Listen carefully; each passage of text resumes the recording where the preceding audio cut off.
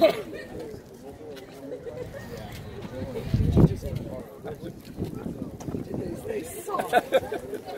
will keep him contained. Oh no, that's cool. so, so I got I, I, got a little project here. So, so David, I want you to ask this this gentleman what he's doing here. Huh?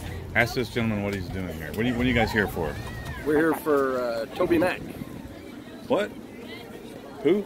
You didn't get us tickets. oh, this is Wait. That's why we're here. Yes. oh, oh, yes. oh, you didn't know? What'd you think you were here for? He said we were trying to commercial business to inspect the roof because he's a public adjuster. Oh say, my gosh. Say, say hi, mom. Thanks, guys. Sure. Thanks, neighbors.